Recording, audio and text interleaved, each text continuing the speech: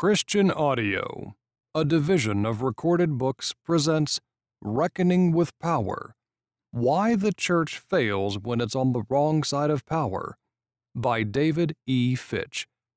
Narrated by James R. Cheatham. Introduction The American Church on the Wrong Side of Power. Not by might, nor by power but by my Spirit, says the Lord of hosts. Zechariah chapter 4, verse 6.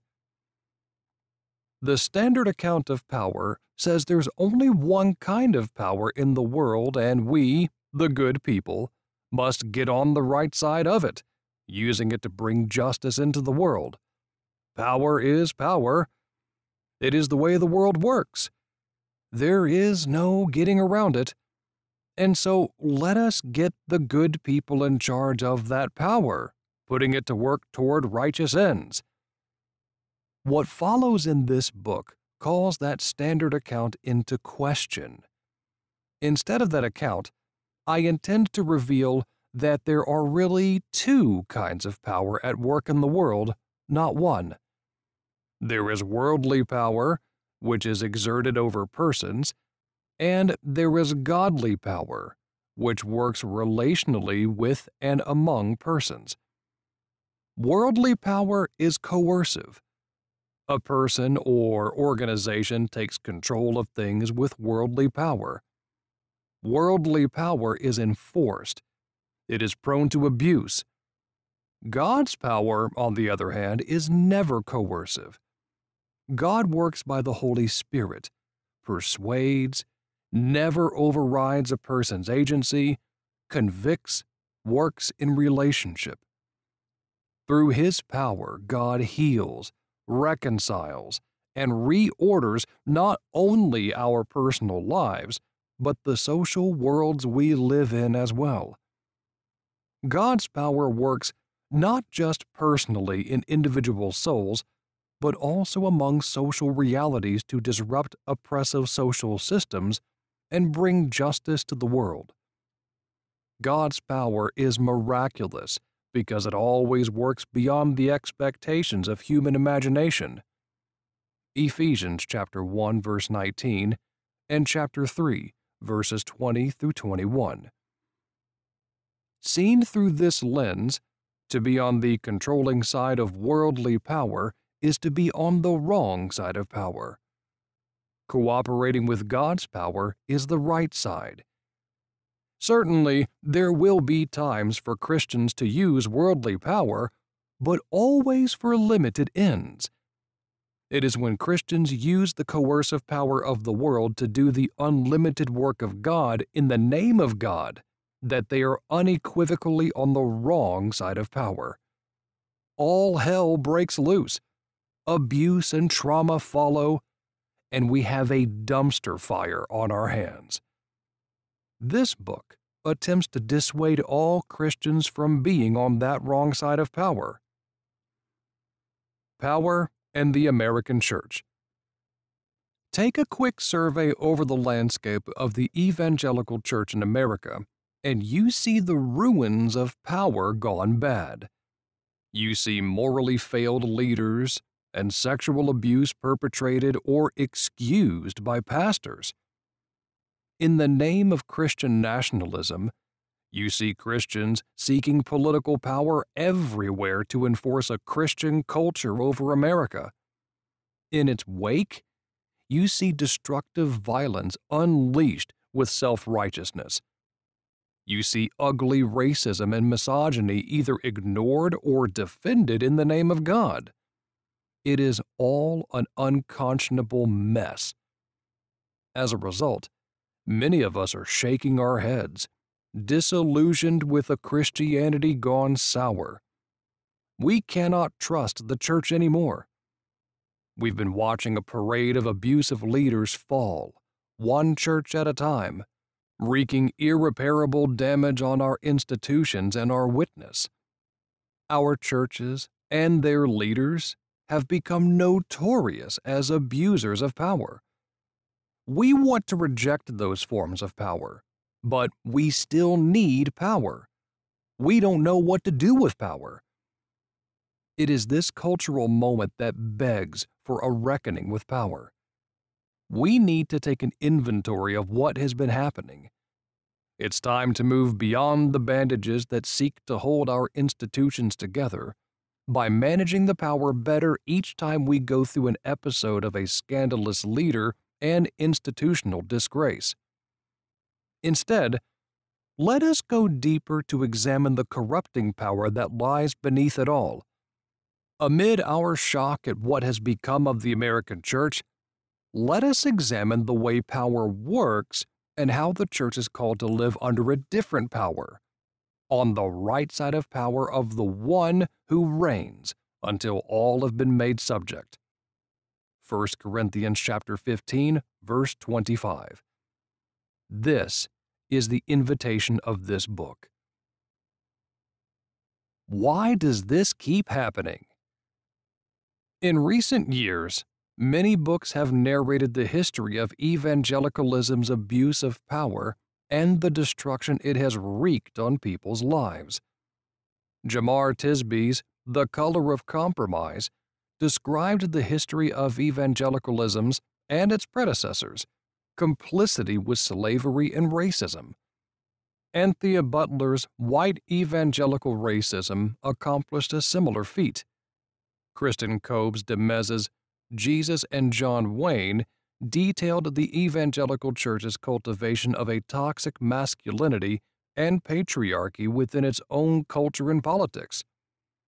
Kevin Kruse's One Nation Under God told the story of evangelicalism's and its immediate predecessors, leaders joining with corporate economic power to gain the control necessary to lead a Christian nation. John Fea's Believe Me outlined the evangelical church journey to align politically with Donald Trump. These are just a few of the books that have been published within this genre in the last decade. They all expose, in horrific detail, the history of evangelical Christianity's complicity with abusive power that led to hideous cultural sins these complicities, once revealed, leave us incredulous, asking, Why does this keep happening? Are these examples of just a few bad apples in evangelicalism? Or is there something woven deeply within the fabric of evangelicalism itself that leads again and again to these moral failings? Are these examples of Christianity or apostate heresy? Or is naming something apostasy just an easy out? Is there a problem in the design because this same apostasy keeps happening again and again in the name of Christ? In this book, I seek to answer these questions by asserting that it is evangelicalism's, as well as many other past historical Christianities, complicity with worldly power that has led to its present demise. It is the church on the wrong side of worldly power. But just as important, when the evangelical church has been on the right side of God's power, in submission to Christ's power by the Spirit, some of the greatest social revolutions in history came forth. Unfortunately, evangelicalism and Protestantism in general has often failed at discerning the difference between worldly power and godly power, between being on the wrong side of worldly power and the right side of godly power. The modern Christian's understanding of power is thin, and it has fostered a regular alignment with worldly power in the name of Christ, and it is ruining us. There is no escaping it. The problem of power lies at the core of evangelicalism's failure to be the church, the social body of Christ's power in the world. It explains the church's complicity with grotesque injustice. It is the how and why of a church gone apostate. And so, we need a better theology and practice of power. This is the reason for being of this book. Jesus and power. In Mark chapter 10, verses 35 through 45, Jesus' disciples are jockeying for power in the coming kingdom. Given their assumption that the kingdom was imminent as they looked toward Jerusalem, James and John assume power will look like worldly power over people's lives, and they jockey for the seats to the right and the left hand of Jesus, the positions of power. Upon hearing about this, the other disciples get angry, not liking that they are being sidelined in this process.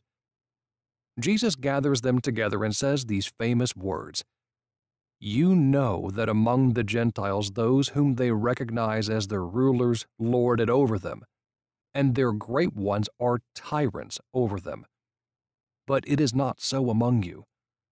But whoever wishes to become great among you must be your servant, and whoever wishes to be first among you must be slave of all. Verses 42 through 44.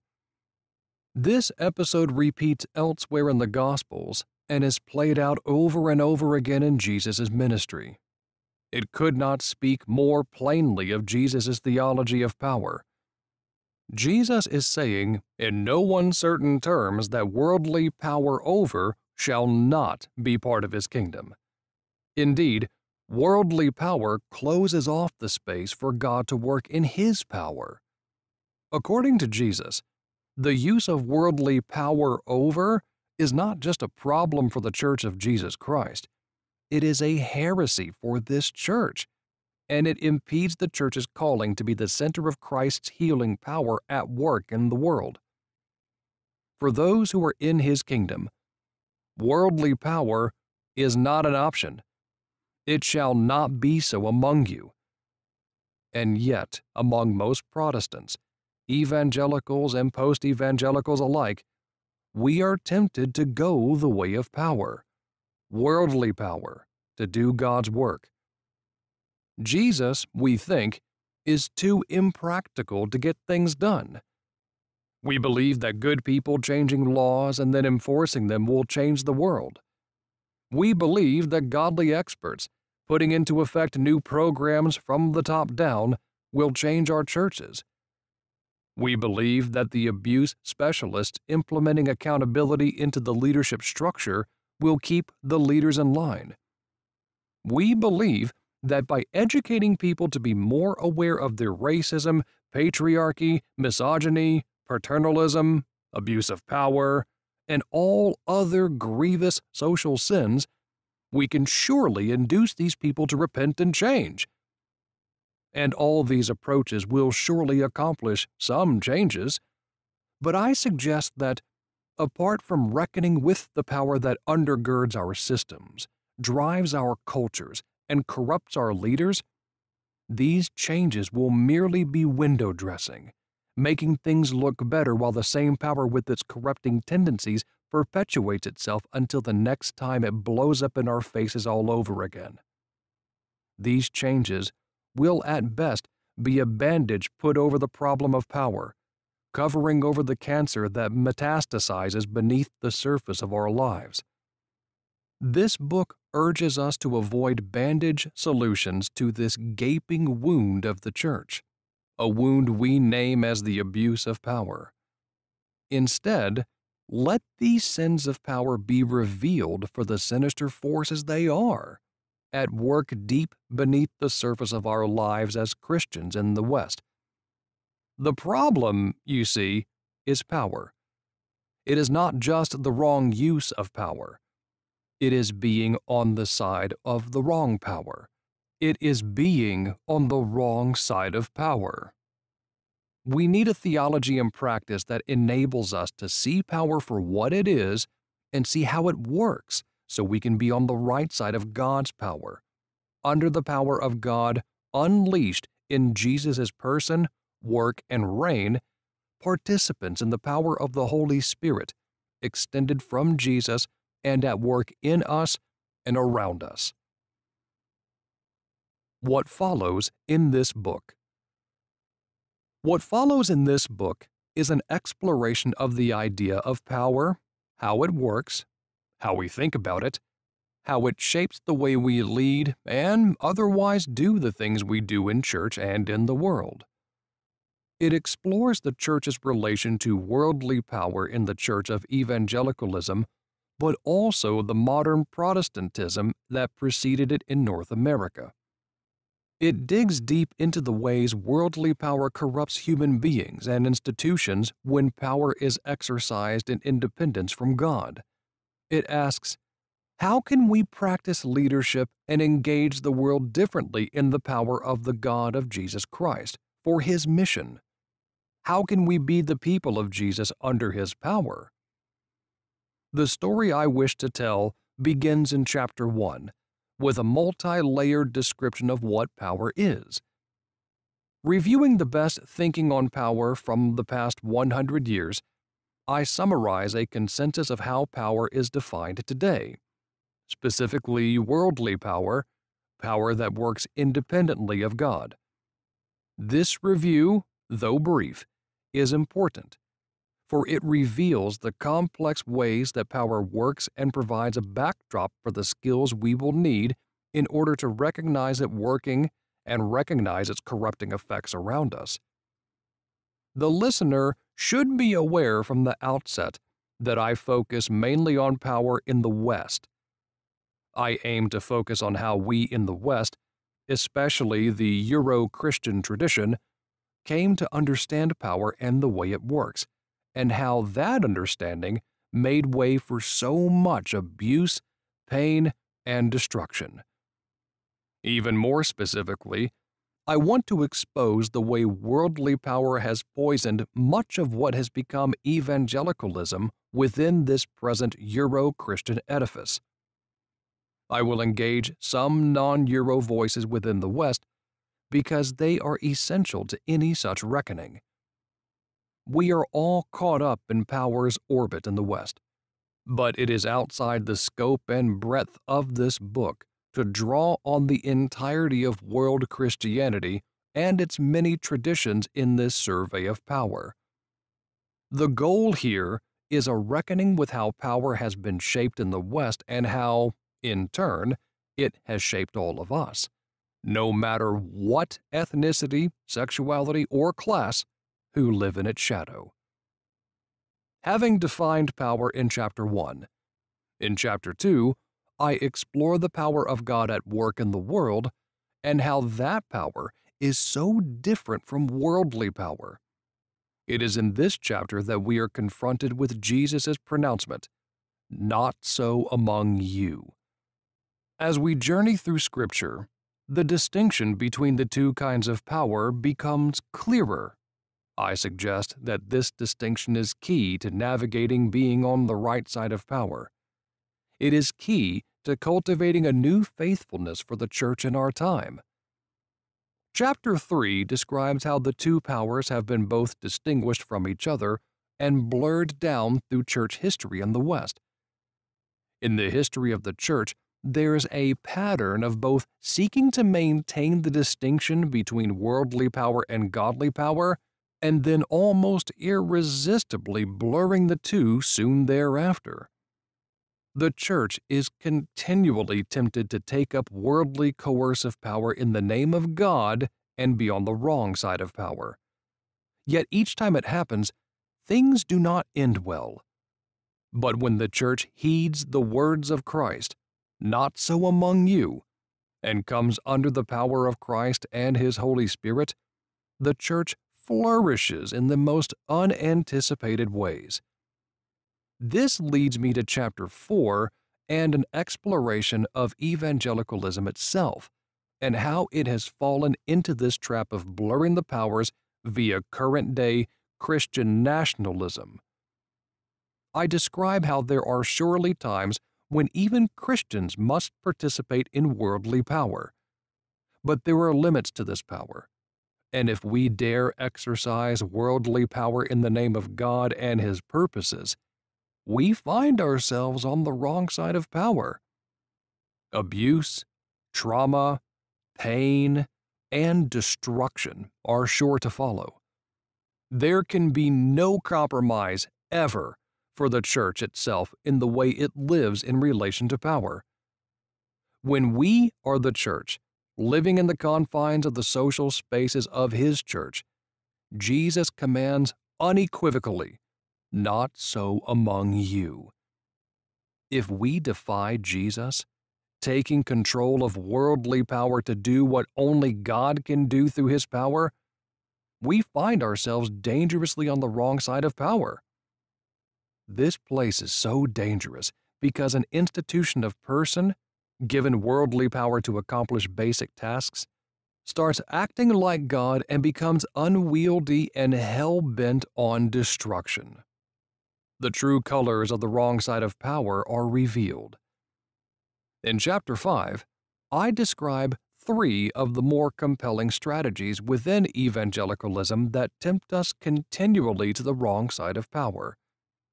In three cases, in alluring fashion, we are tempted to use worldly power for God's purposes.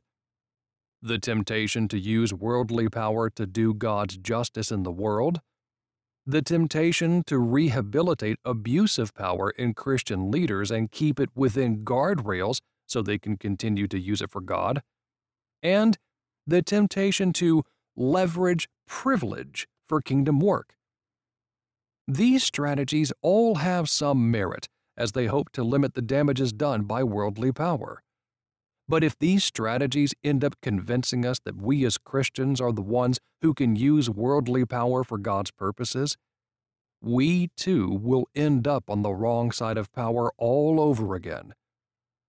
We will stretch worldly power beyond what it can do, leading to eventual abuse and marginalizing God's wonder working power among us, in our churches, in our neighborhoods, and beyond. A final chapter reflects on the church today. I ask what it might look like to live under the power of God at work among us. Frankly, we need a new imagination for how we get things done without worldly power and the abuse it leaves in its wake. How might we as Christians in the 21st century West live into the kingdom of Jesus? Many churches of the West in which the habits of Christendom, Enlightenment rationality, and secularism are deeply ingrained, have no imagination for a church that does not run on worldly power.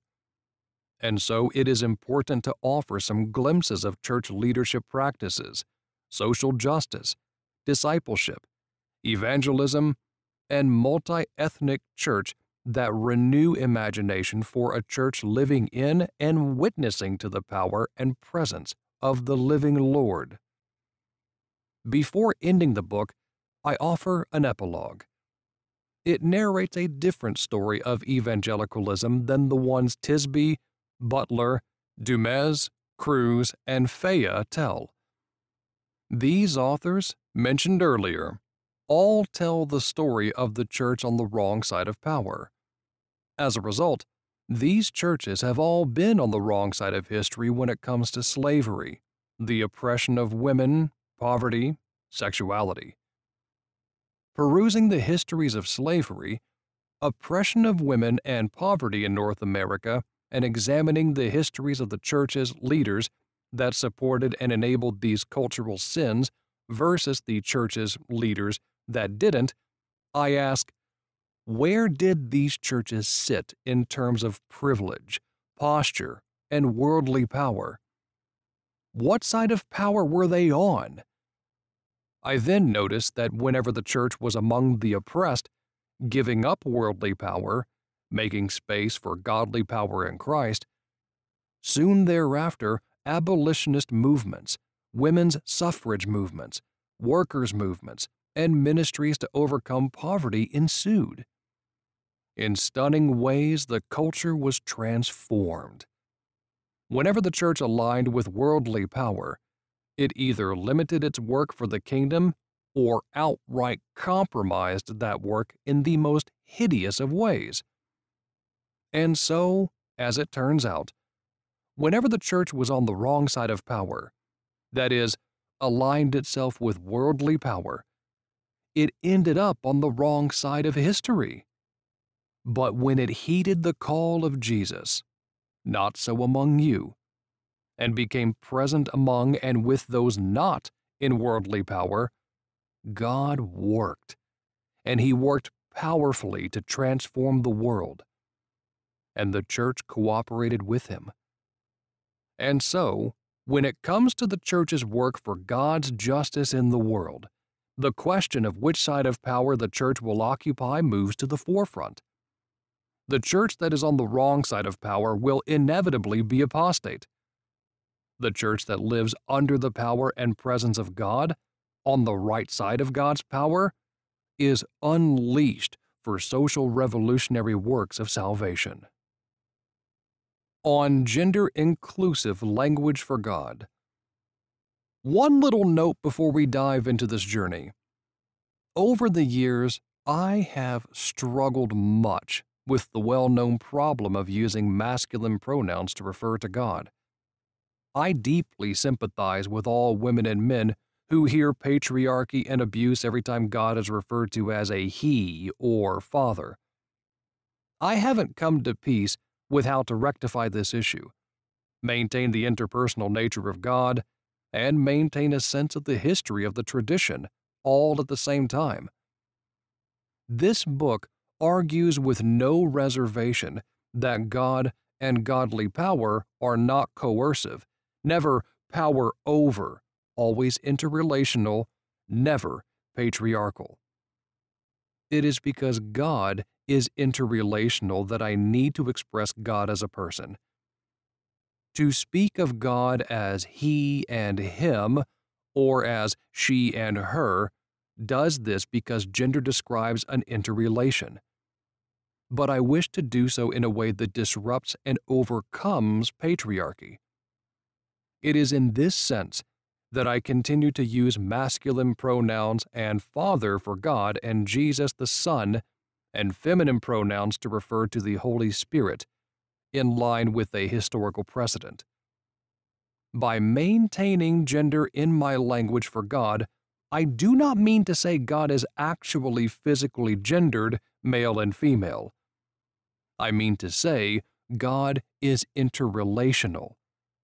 In that God created humans as gendered in God's image, Genesis chapter 5 verses 1 through 2, I believe I am highlighting the personal nature of God, that God is in relation whenever referring to God as he or she versus another term. It is to affirm God as triune God, interrelational, and creator of creation.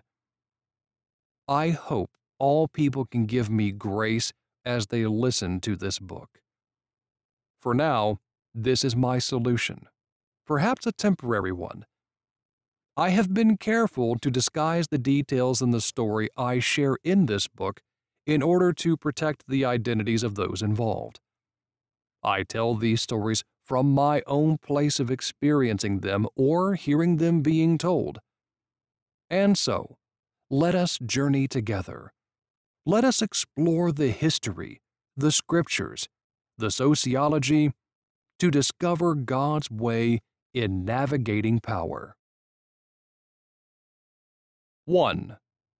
Defining Power the many versions. For our struggle is not against enemies of blood and flesh, but against the rulers, against the authorities, against the cosmic powers of this present darkness, against the spiritual forces of evil in the heavenly places. Ephesians chapter 6, verse 12. Power is everywhere. Even when you don't see it, you still know it's there. You sense it. Its pressure pushes in on you. Let's imagine a fictional first visit to a Sunday morning church service in Chicago. As you enter the sanctuary, you're approached by a person known as a greeter, who hands you a clipboard and with a smile asks if you'd be comfortable giving the church your personal information. This seems intrusive. You feel uncomfortable, but you oblige. The greeter then points out to you a pledge on the clipboard that asks you to attend at least four Sundays before you make a decision as to whether to make this your church. The church is already making assumptions about you, and you haven't even sat down yet. After some group singing and worship music, a video appears on the screen up front. It plays a popular television commercial with Matt Damon saying the phrase, Fortune favors the brave. The pastor then steps onto the large stage and notes that the video clip is an illustration for today's sermon. He compliments the congregation for their courage amid the COVID pandemic. He then asks if anyone is depressed, struggling, disobedient, or even lazy in their Christian faith. He declares that Jesus is the deliverer and says this church shall live with courage. He declares that this church, unlike other churches, is here to serve the down and outers. This too will take courage. There's an altar call, a ritual that some churches do where people come forward to be prayed for. The pastor invites any among the audience who seek courage for their lives to come forward and be prayed for. The church service ends. As you walk out, the greeters smile at you again and thank you for coming. Power was being exercised in that gathering on that Sunday morning, and pressure was being applied to submit to it. Nonetheless, the power was not easy to discern. No one forced you to attend that church service. No physical violence was wielded against you, but social pressure was evident. You were being seen and categorized. A subtle pressure was being applied to conform to expectations by very nice people with toothy smiles. The sermon addressed you, and if you responded by going forward at the altar call, you were assessed and expected to submit to certain behavior expectations. The pastor had a role in this church and had been given much authority. You'd be submitting to that too. In a sense, in that Sunday gathering, you were being inducted into a whole scripting of power in that church. You sensed it, but it was hard to put your finger on. Power is present in almost all social situations we find ourselves in. Whether it be the corporation you work at, the village zoning committee, the street crew you work on, the neighborhood, the playgrounds, the sports organizations, the local schools, or that charitable organization you volunteer at, power is at work. In all these places, persons have stakes in what is going on. Each organization gathers a people for a purpose. And power is what moves us and what gets things done. Power is also at work in your local church. That being acknowledged, power can work for good or for ill. It can be used to help people live and flourish. It can wreak enormous harm on people's lives. Unleashed, aligned with evil, it can kill 60 million people in a war and destroy entire cities. World War II. Power can abuse, trick, and beguile, lie, deceive, restrict, and oppress. To use power in this way is to be on the wrong side of it. Strangely, this can happen even at a church, through a church, and maybe especially in a church. The church can be on the wrong side of power. And because people trust God, people derivatively trust church and are therefore open to power abusing them in God's name all the more by those in power who wish to use them for their own purposes. Power seems so much more dangerous in a church, and so Christians must not shrink from discerning it. Every church must be equipped to discern power. The first step in this direction is to define power, then study how it works for the good and how it goes bad. How can we discern bad power from good power? Most of all, we must examine how it works in the Church of Jesus Christ. For here is where the wrong side of power should be exposed for what it is. In recent years, we have seen horrific abuses of power by the church, corporately and by individual leaders in the church. If we are to get to the bottom of these massive failures in the Church of North America, we must begin by asking what went wrong with the power behind these abuses. To do this, we must define power, what it is, and how it works. And then we must discern if there is a difference between the way power works in the world and in the church. Let's start by defining power. Defining power. Power over. Power, as most people define it, is that which one person or system exercises over another person or system. The key word here is over. Power has been studied and written about for hundreds of years. From Marsilius of Italy to Machiavelli, Hobbes, and Nietzsche, the history of the West has been obsessed with it. But we begin most simply with Max Weber, a 19th century sociologist who described power as the probability that one actor within a social relationship will be in a position to carry out his own will despite resistance. In political theorist Robert Dahl's words, A has power over B to the extent that he can get B to do something that B would not otherwise do. Both writers point to this basic idea of power. It is the exerting of one's person's will over another person or group. This is what we mean by power over. But how this power over works is complex. During medieval European feudalism, brute military force would impose the will of a feudal lord over his subjects. If a serf did not pay the portion of grain he owed to his lord who owned the land, a knight armed with a sword would show up at his door to take it from him. It was coercive power over in the most blatant sense.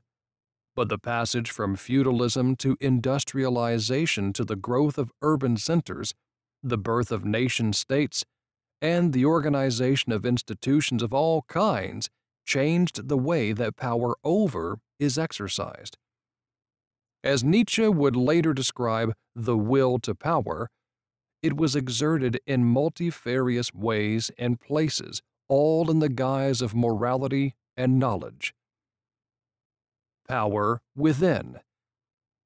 And so, after feudalism, power emerged differently. As cultural theorist Michel Foucault describes, Power no longer relied on pure violence or military force to achieve its outcomes. Such overt violence was now broadly unacceptable in modern life. So, power went underground, from being exercised by one person, either personally or through an organization, over another via brute force, to being woven within a field of relations, a set of rules and practices whether it be work, education, politics, or church. Each social system has its way of getting you to do things without overt violence. Compliance is achieved by the powerful through discourses, ways of justifying the way things are. For example, institutions use science or ethics to justify that this is just the way things are. When people need God, we go to church and learn to willingly submit to confession. When we have stress, we willingly go to a psychiatrist and submit to a body of knowledge that diagnoses us. When we get sick, we willingly go to the hospital and submit to the medical doctor under the guide of medical knowledge. We do what they tell us, and we see ourselves as the patient. When we need money, we willingly apply for a job, work for an employer, and do what is expected of us by the boss and the banking systems. We vote in a democratic society, and afterward we will submit to the government and all that its leaders and laws tell us to do, including paying our taxes. The power exerted over us is accepted as legitimate, and we willingly cooperate with, if not defend, those in authority who tell us what to do. Over time, within these various practices, power becomes woven into how we conceive the way things work. It is the way things are. All around us, we are continually being inducted into regimes of knowledge, religion, psychiatry, medicine, capitalism, etc., in which we comply willingly with power. My very identity gets intertwined with these practices of power. Being a cancer patient or a student or a professor or a Republican or a congressperson or an American citizen or a member of my church or a pastor becomes part of my identity. With that identity comes the power I must submit to or wield as part of who I am now. We become absorbed into discourses of power. The various practices we participate in condition us to believe that the power at work is just the way things are. And because we went to the hospital to get treatment for an ailment, or to the church to attain eternal life, we believe our complicity in these systems is our own idea. If we are aware, we can see power at work in the many different discourses of life, from the local PTA to mental health awareness seminars to Facebook ads, Twitter clicks, the Internal Revenue Service, drug commercials, Medicare supplement plans, community policing, and on and on. Each discourse or practice slots me into a role, creates expectations, shapes me to desire things, want a certain paycheck, want to be a certain kind of person and buy a certain product. It is all power being exerted by people over other people. And I am, for the most part, totally fine with it. Ideology is used to justify economic power. Various racist discourses justify exploiting black persons, immigrants, indigenous peoples, and prison populations, suggesting these people are lazy, less intellectually gifted. We hope you enjoyed this preview. To continue listening to this audiobook on Google Play Books, use the link in the video description.